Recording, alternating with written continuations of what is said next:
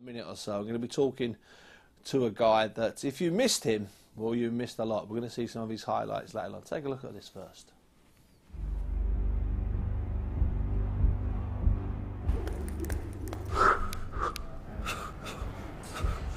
Double jab right. And the hook.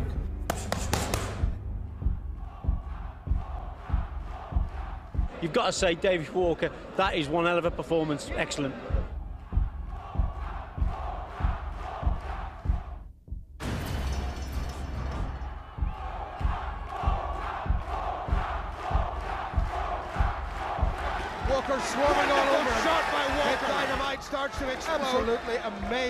David Walker. He will not give up. He will not give way.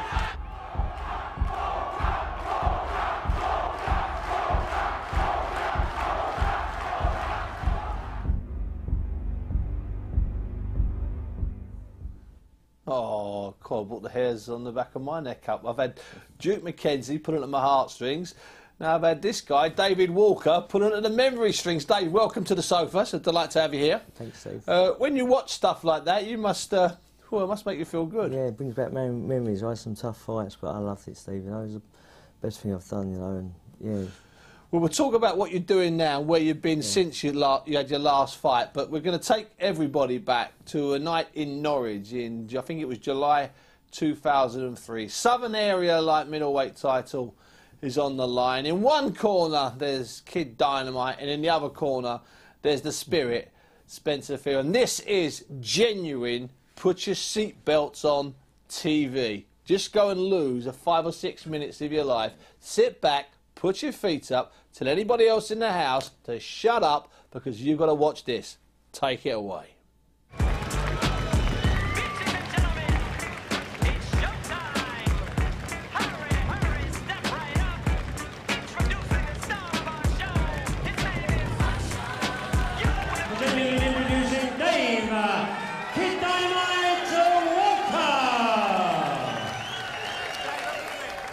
Walker's career seemed to have hit uh, a bit of a trough when he lost to that great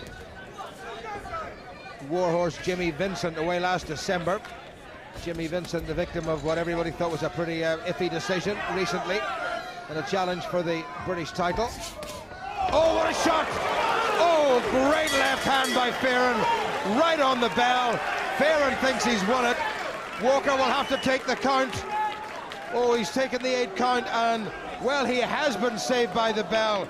Walker making all the running in that opening round, and had that happened 10 seconds earlier, Walker may well have been gone. Let the right hand slip, and Fearon caught him with a fearsome punch. Right at the end of the round, Walker, Fearon tried the uppercut. Walker's right hand was nowhere. Fearon shortened the punch, and that was the classic left hook. Well, I tell you what, the minutes break won't be long enough for him. He fell heavily. I mean, it was an absolute peach of a shot. Well, Fearon really now fancies this job, and you couldn't blame him. Nearly got himself caught by a little left from Walker.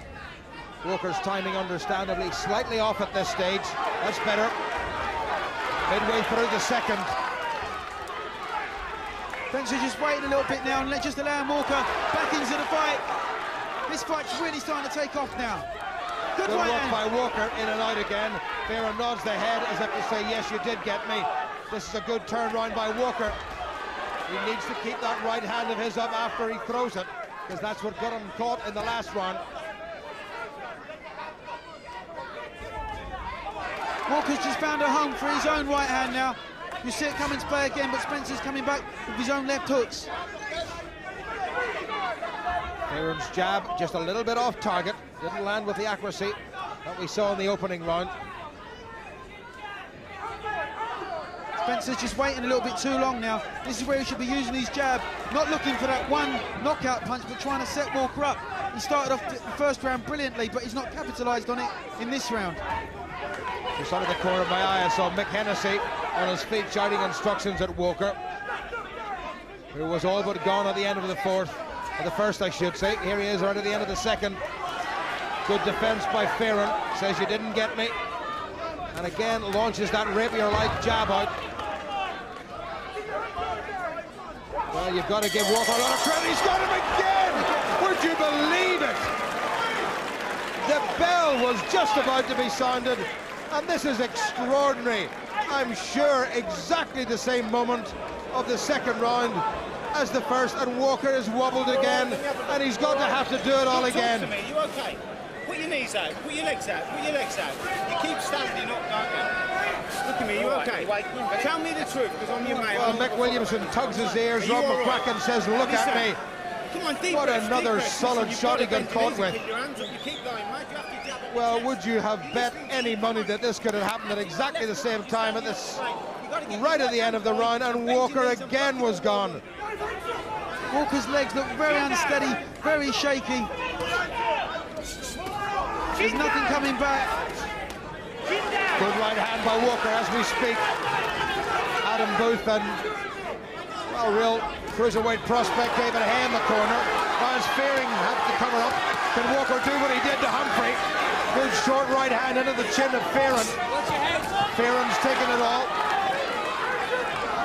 Little shrug of the shoulders. Good accurate stuff by Walker. Just about a minute to go. Walker gets him with a left. Well, this is an extraordinary contest. This one's really caught alive now, but you just fear that any time that Spencer Fearon throws that left hook or the right hand, he's going to land flush and the fight will be over. Walker can't afford to get careless as he did at the end of rounds one and two. Fearon puffing a little bit, I've got to say. Better by Walker, who's been much more active over the past couple of years. Fearon doing a little bit of the stand-up comic bit. He's trying to lure Walker into that uh, left hand. Bit of grazing underneath Walker's left eye. 30 seconds to go. Can Walker get through a round without getting caught? Fearon starting to wobble. I think tiredness is just setting a little bit. Spencer's put so much into these first two rounds. His mouth just dropped wide open. He's taking in big gulps of air. Good right! Wonderful shot by Walker. That may settle it. Fearon looks over at Adam Booth. He's so groggy. What a shot by David Walker. He's just about made it. There's seconds to go. I do not believe this. Walker saved by the bell in rounds one and two. And now Spencer Fearon saved by the bell. This has to be one of the most extraordinary contests ever witnessed in a British ring, Duke. You wouldn't get more excitement than this in a world title fight. Both guys have been bounced off the canvas like they're a basketball. It's incredible. How Spencer Fearon can let this one slip away is beyond me. It really is. All credit to David Walker. He's come up with an almighty right hand, straight over the top, and he's right back in the fight. Well, just as we were wondering, would Walker manage to stave off the left hand of Fearon, and he launched a right of his own, and Fearon bounced off his corner like a rag doll. Fearon's covering up. Here comes Walker. Kid Dynamite starts to explode. Fearon looking tired. They're both on shaky legs, and you just feel the first one to land will go over. Walker gets him. Walker gets him. Lee Cook's having a good look. Walker swarming all over him.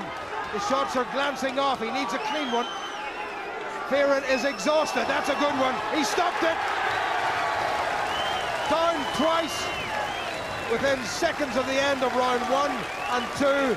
And Walker came back and looks over and says to Spencer Fearon, well, you had your chance and you didn't take it, and I had my chance and I've taken it. But for drama and excitement and to and fro, well, you could not beat this contest. Absolutely amazing. David Walker down and almost out at the end of the first and again the second round. Had Fearon down at the end of the third, and Walker swarmed all over him. Yes, that was a hot and emotional night down there. Dave, watching it, you seem to be living, living every single punch again. What do you remember from the fight? I know it's exciting and um, being in it, um, I enjoyed it. You know, I'm just so thank God that I won the fight. You know, and uh, I was caught real on the end of the round. And if Lee Cook stopped the fight, I couldn't have argued with it. You know, couldn't have argued it No the way. ref had stopped it But, um, either, yeah. either, either time or just the first time. Do you know what? The second time was wor- uh, hurt me more. You know, but Robert said, "I'm your mate. I'm your," and I, Robert knew I was fit, and I trained after that fight, so he knew I was. In, I was good hands, and he knew I can go. Could on. you sense that, that Fearon was tiring? He was tiring, yeah, and I knew I'd get to him. You know, I I was I was knocking a lot of boys out like a punch. You know, I knew I'd get to him. You know, I knew he was tiring. I knew he blew his gasket in two rounds. He come in swinging, swinging. I thought, just take my time, and I knew I had him. The next, I had him then, you know, that round. I was clear-headed. I was very fit. I trained hard with Robert and Cole and all the boys over Hackney, you know. So I, no, yeah. Yeah, well, you, you had that whole thing going there, that whole Yeah. Mick Hennessy thing, you know, the class of whatever it was Yeah. called, and, and you Mick did some great posters. Yeah, we yeah, yeah. Carl Froch was part of it. right, yeah. Obviously, yourself, you were part of it. There was uh, Lee. There was about how many of you? About seven, Matthew six. Farewell, great fight for the Fisher. Yeah, man. Yeah, yeah. Now, the and you, also, you actually people sort of need to understand that you all sort of live basically over at the old Lennox Lewis College during That's the right, yeah. week, and That's right, and yeah. with Rob was there and Mick was there, Yeah. and it was it was it was an incredible team spirit for a few years there. It was good, yeah. I think Robert kept me there because uh, he heard me rumours I was going out, you know, partying a bit. And, Was and true. That was Furlong I tell was the truth, going well, out. well, me and Matthew really had a bad name for that, you know. And I, I miss We had a good Robert, name for it, depends how you look at it. Yeah, yeah. But we had some good times over at Hackney. We used to run together and everything. But I was trying to slip out there and go home. You know what I mean? But it got a bit boring after a while. But Cole, dedicated as he was, and stuck there and look how well he's done. But it was great days, you know. And we've, I'm friends with Robert and Mick, and we're all good friends. You know, I see Matthew a lot. Yeah, they're not friends, but you're friends Nah, with them. I've, That's I've not fallen out understandable. no one. I try not to, but I don't know what's going on there. But um, Just before we're going to move, we've got some. I want to keep you here, Dave. There's plenty I want to talk to you about. But uh, tell me about when you first used to see Carl Froch and being around Carl in the gym. Did you know he was going to go on to become the, you the super hard man that he is now? Do you know what? I was in the ABAs with him. I think I boxed in the ABAs. I won it in '98. I think we was in it together one year, and um, he seemed a bit no, not real confident. I was looking at him once. Thought I'd be bo- I thought I was boxing, but obviously I wasn't. But uh, I think he's so dedicated. Robert used to tell me he's going to be world champion, and whatever, well, they, they, what- they both did from the whatever. Robert said, I, I believe. And um, he was so dedicated, Cole. He deserves how well he's done. He's so dedicated.